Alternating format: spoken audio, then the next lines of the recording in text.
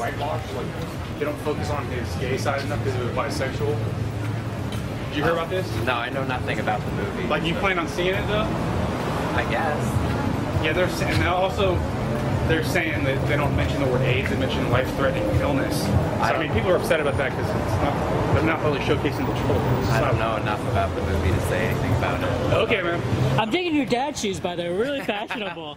The kids are really upset by them. I, I personally like dad shoes. Good. I've got about three more pairs. I'll wear them, I'll wear them, What's the most money up you'll spend on a leather jacket? Uh, thousand bucks. Okay, a thousand. Hi, this is Ernie Hudson from Ghostbusters.